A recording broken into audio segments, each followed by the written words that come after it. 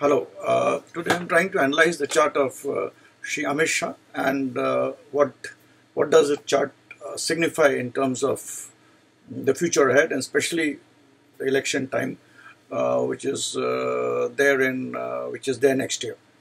So that is the main assessment which I'd like to do. I'm only analyzing his chart on the basis of profession. I'm not going into the issues like personal issues, finance issues only in terms of uh, the professional aspect and the professional prestige uh, which will be there uh, in terms of his chart, uh, taking into consideration uh, the D1, the D9, the D10, uh, the Ashtakvarga, the Dasha Bhukti, my own system of Nakshatra, and also I give a little importance to the Bhrigu Bindu point and the Fortuna.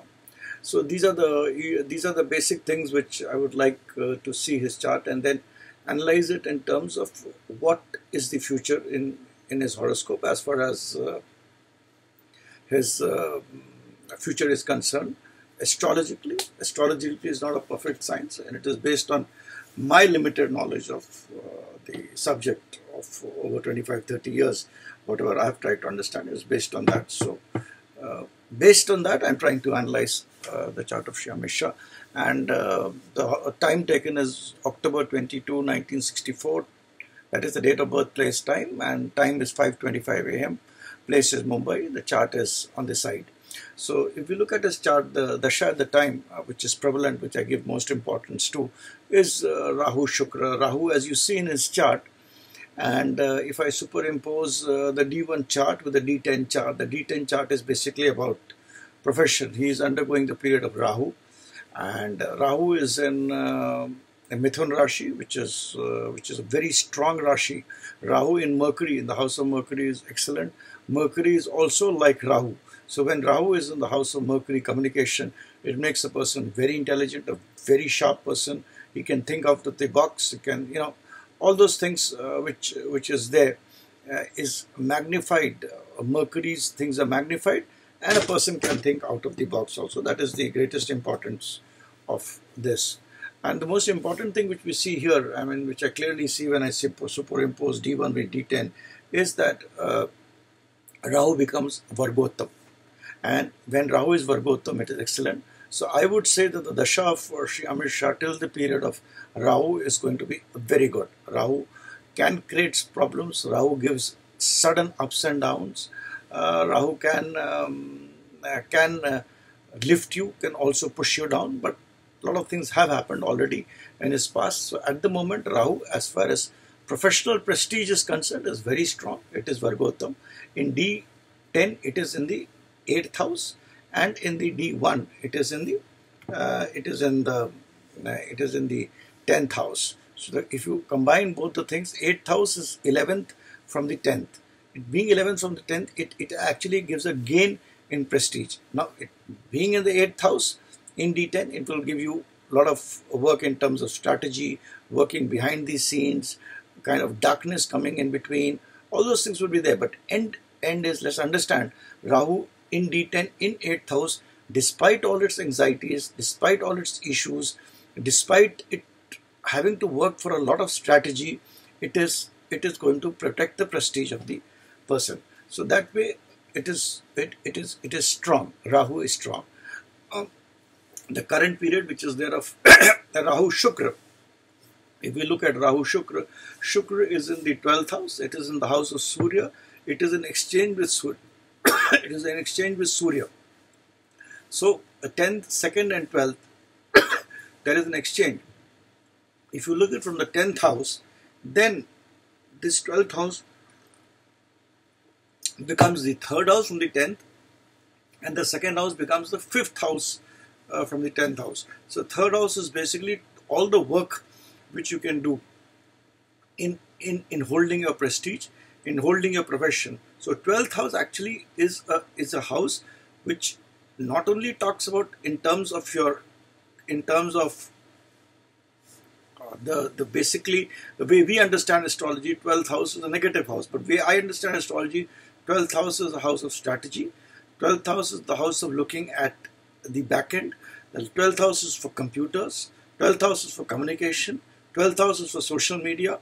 12th house is a house of investment. So 12th house also is the house of expense. But when you talk about expense, it's on a different uh, different gamut of activities. But from 10th, it is the third. So it is also the house of work which you do towards the things which I have just mentioned for protecting your prestige. And the second house is the house of uh, house of strategy for the 10th house. So an exchange between the second and the 12th, which comes to third and the fifth from the 10th house, shows that the person will be able to do excellent strategy and uh, with uh, by means of his communication, by means of working at the back end, by using the uh, social media, by uh, by strategy, by a lot of other things which are signified by the 12th house, he will be able to do that and uh, be victorious. Because at the end of the day when there is a when there is a exchange between sun and venus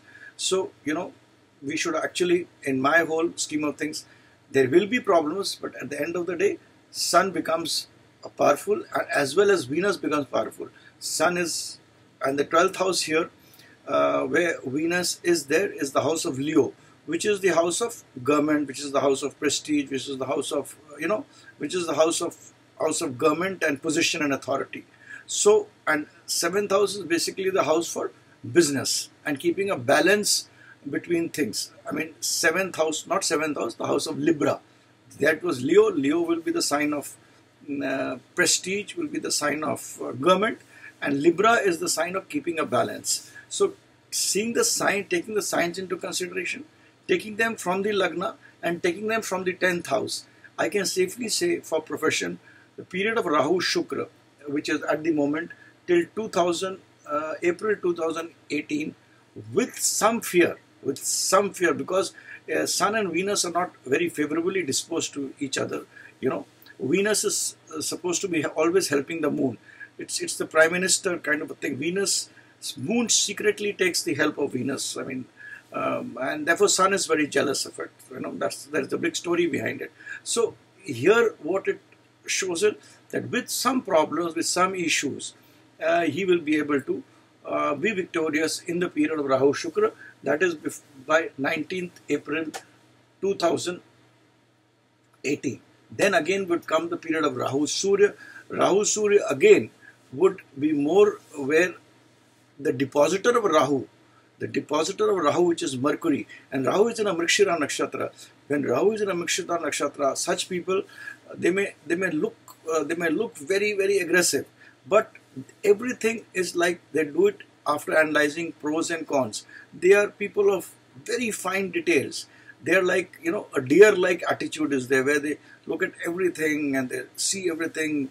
They, they, they, they can smell things and then only they act Rahu may give an outward thing in this case, a kind of a thing which is you look like a daredevil, but inside internally the people are are very very very very pedantic and they take each and every uh, thing into consideration. So that that is how Rahu is. When and then the period of Rahu Surya again uh, will be uh, a very good period because it is with with Mercury and again it is in exchange with Venus. But Surya is in the second house. Second house is the seat of government. So I feel that by 13 3 2019 uh, the government will be able to he will be able to consolidate the position of the government in a very uh, in a very very very good way.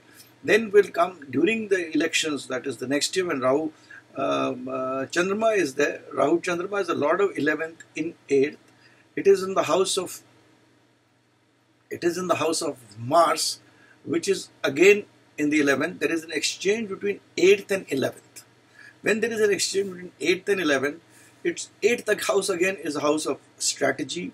It is the house of something which you have to do underground. It is everything underground. The back, the the back office. So I mean, what I see that in 2019, when the elections are there, and when the period of Chandrama is there, there is an exchange of Chandrama and Mangal, and the exchange of Chandrama and Mangal is between the eighth house and the eleventh house. Eleventh house is for aspiration of getting what you want, of fulfilling what you what what, what you desire. So I I have a feeling that that during the time of uh, Rahu Chandrama, when uh, which starts from 13 3 2019, that is that is the time when the election results would come out and the government would come made.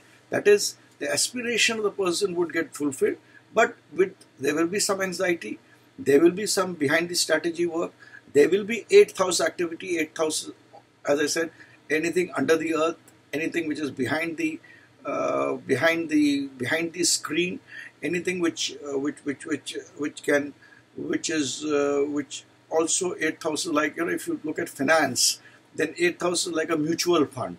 Uh, we say second house is the house of finance, but eighth house is like house of mutual fund. Mutual fund means you know we have a lot of people together, and uh, you know we have a lot of funds together, and you make a kind of a um, uh, you make a kind of a uh, you make a kind of a, a, a kind of a fund which is which is uh, which is uh, which which is uh, which has got a partnership of uh, a lot of firms and shares and you know those kinds of thing in finance. So this is the same thing which would happen in which he would which could happen for him to succeed. So I feel that aspirations will get fulfilled for sure, and uh, there would be some some actions behind the scene.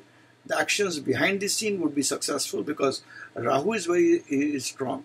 Uh, uh, Mars is again with uh, in D10 is uh, uh, Moon in D10 is in the 11th house in the 11th house which is uh, the house of Mercury which is the house of Mercury and which is the if you superimpose D10 on D1 is the Lagnesh so that means by his own strength of his self, by his caliber, by his uh, by the strategies, by various methods, he'll be able to align, uh, align and successfully form the government in uh, 2019. Uh, you know, I've tried to explain it in a way where a layman would understand and without going much into details. Also, one more important thing is that uh, his Jupiter, his uh, Bhrigu Bindu point lies in in Scorpio and Jupiter Jupiter would be and Jupiter would be in Scorpio. So Jupiter uh, would be where the Bhrigu Bindu point lies uh, that is the Scorpio so it will be it will be very good very good. Also his uh, Fortuna lies in the in the seventh house which will also get activated by Jupiter. Shani, though, would be with uh, Ketu uh, during the uh, uh, uh during the mm, uh, during the election time. So Ketu would have its mm, have its kind of hurdles which it could produce. Ketu is a planet where you have to do mathematics. It's the planet of mathematics.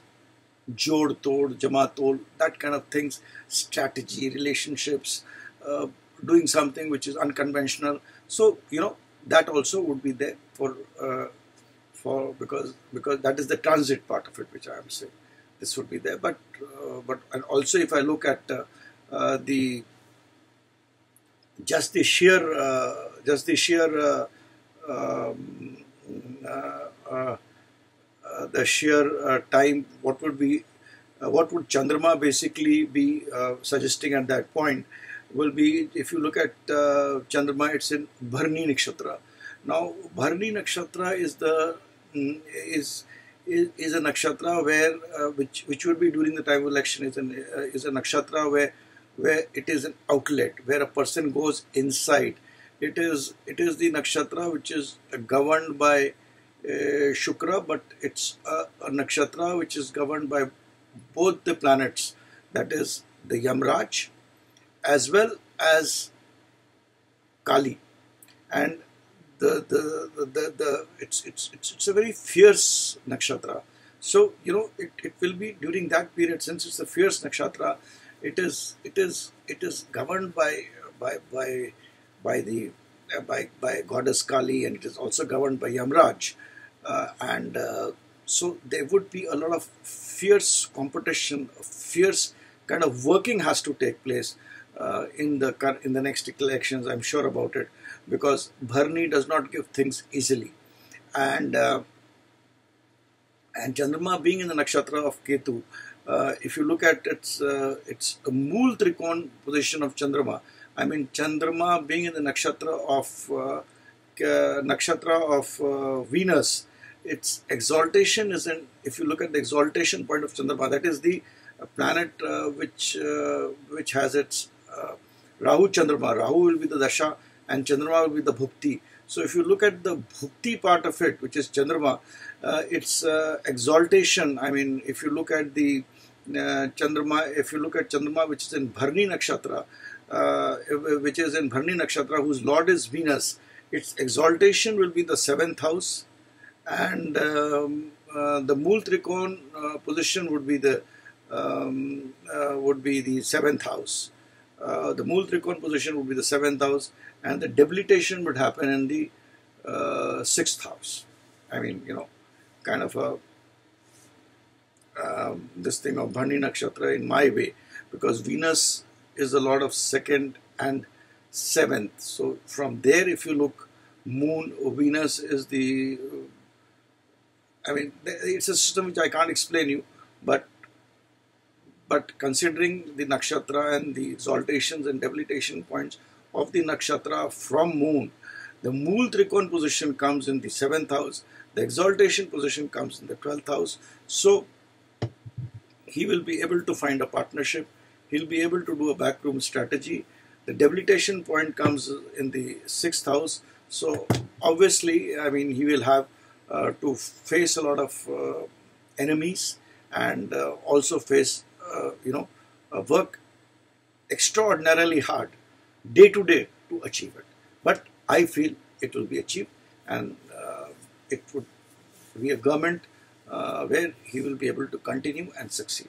That is my view on the horoscope of uh, Shri Amit Shah, only on the profession part because things which are professionally good may not be good personally. So I'm only focusing on the professional part of his horoscope, analyzing the Rahu Shukra, Rahu Surya, Rahu Chandrama, both by three to four methods. So I feel that there would be there would be hard work to do for him, but his aspirations would get fulfilled. Thanks. Bye.